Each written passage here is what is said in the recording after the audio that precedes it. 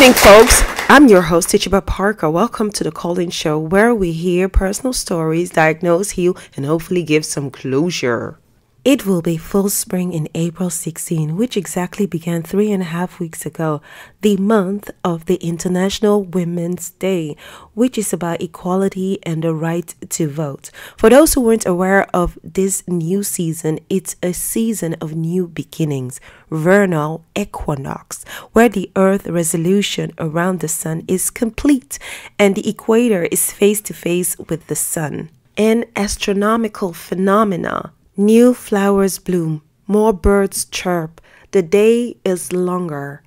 It's in the pagan belief a transformation, renewal, balance, and change. In other faith Christian based belief, it's the death and resurrection of Jesus Christ. This may come as a shocker for some women who do their spring cleaning to make way for their new designer shoes, clothes, and jump in new relationship under the tag New Me, New Season instead of doing some alone reboot time. Or men who think it's a good idea to convince their partners to have anal sex or do gangbangs at private parties. Nonetheless, the Dutch, who are the descendants of the Celtic Germans, celebrated the feast called Ostara some 12,000 years ago with a lot of sugar and rabbits to the goddess of dawn and fruitfulness, also translated in Ostara, godin van zonsopgang en vruchtbaarheid. People, welcome to You Are a Mess.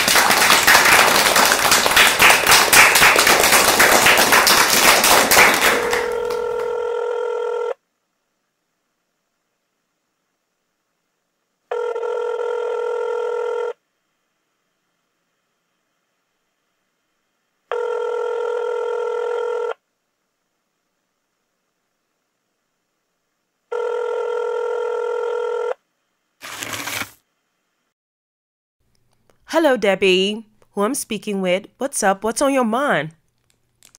Hey, Tichaba, how are you doing? I just want to vent and rant. Go ahead. I am today your priest, therapist, listener, and advisor. I just hate how perfection has become the new obsession. I had a boyfriend for three years, more like an online relationship, real boyfriend and girlfriend thing. We texted each other a lot. We sent each other pictures, and our love was growing. A few weeks ago, we met for the very first time. We went to dinner slash hookah bar. For all our listeners who don't know what a hookah lounge or bar is, Debbie, enlighten us.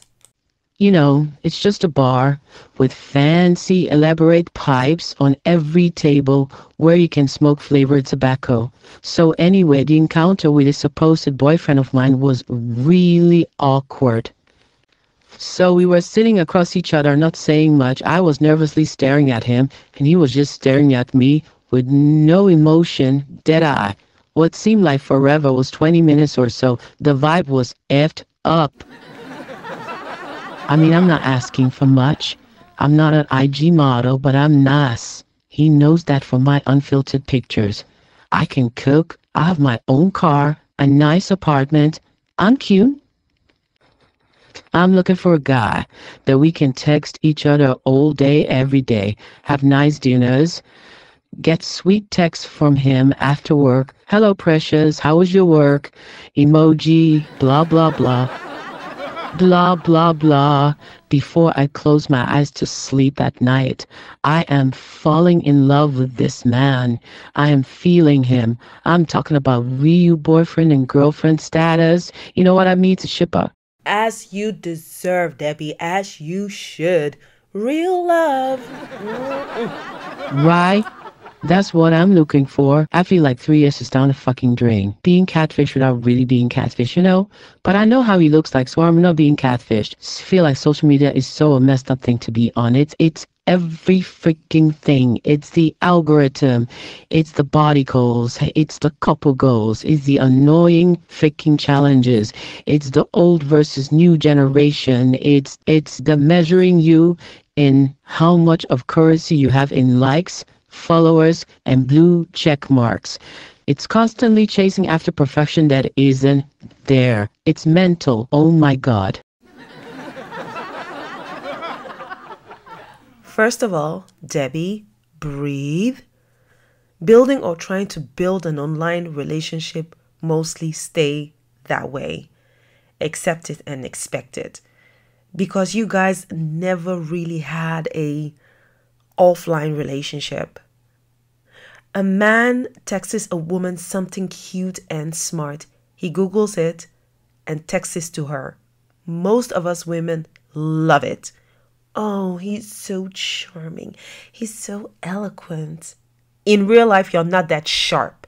You can't excuse yourself from a situation such as dinner or a hookah lounge bar. In your case, do some research and come back with a clever response in real life scenarios, you end up sitting across each other, staring, and not saying a word. Now, that doesn't make you weird, but that's what happened. Shit happens. Especially when your entire method of communication is based on online texting, phone texting, email texting. It takes away the ability to think, to be human, to treat in real time, which leads to fear to interact and date in the real world. It's time to get off social media as well, don't you think? And go outside. Thank you for your call.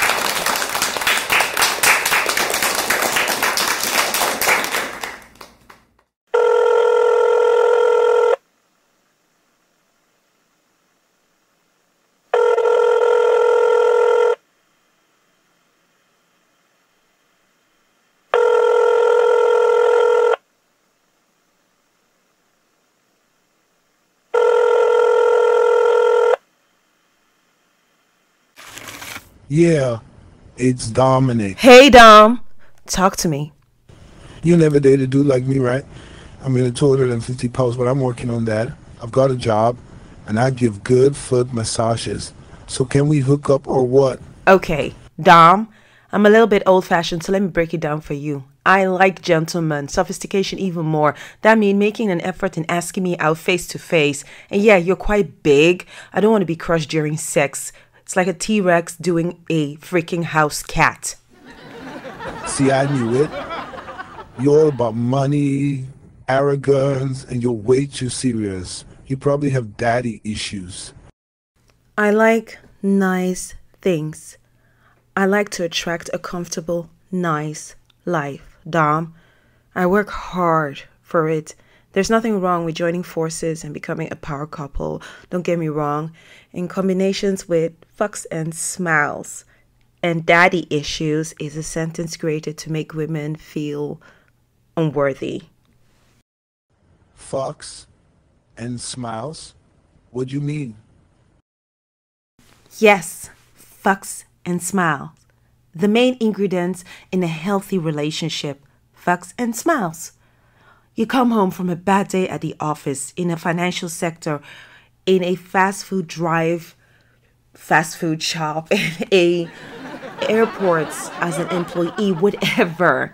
You have that person at home waiting for you to turn that frown upside down and make you laugh and forget about all your problems. Because a smile will get you through the tough times, and there will be tough times. In a relationship with equality, a reason a person will cheat in that relationship is if the sex is whack. I don't care how much money you have or how big you are. As you, Dominic, a person will risk all to come so hard, their feet will curl into a ball, their eyes will roll back into their skull, revealing the whites of their eyeball like you're going into a fit. Fucks and smiles, Dominic. If you find a person with those qualities, hold on to them with everything you have because you have found the one. So, you haven't answered the question, my queen. You want to hook up or what? Mm, you make me want to touch myself so bad right now. Oh my god. Really? I'm gonna jump in the car right now. I'm on my way to you. No.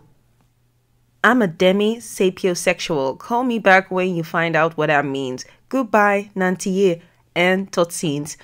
We'll be back after the break tune with You Are a Mess.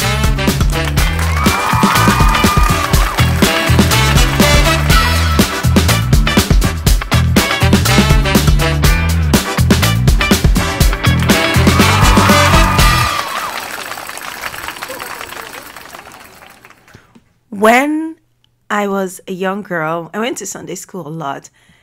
And the older I grew, I got the chance to teach the young kids themselves as a teenager.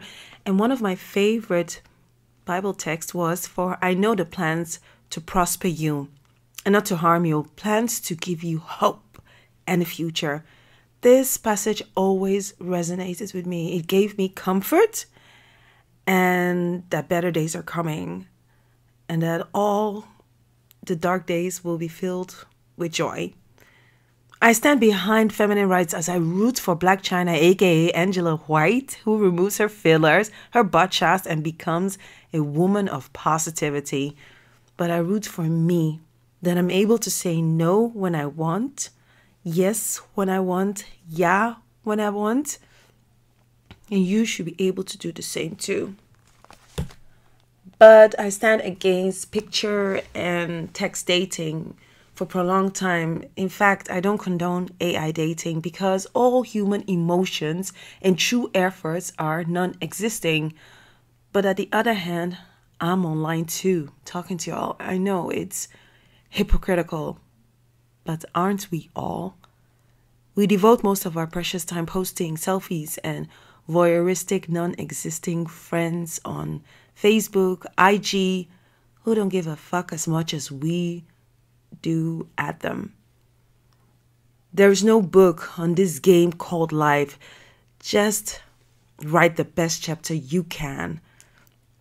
In closing, in coming to an end of my story or keeping my story short, I do know this all of us are selfish and we're hurting, consumed with hate and bigotry, ego, narcissism in our own lives. And in the middle of all, we still have compassion to reach out and help someone else in need, even if we're going through it ourselves. So all is not lost. There is hope and a future. Thank you so much, listeners and callers. And see you soon on You Are a Mess.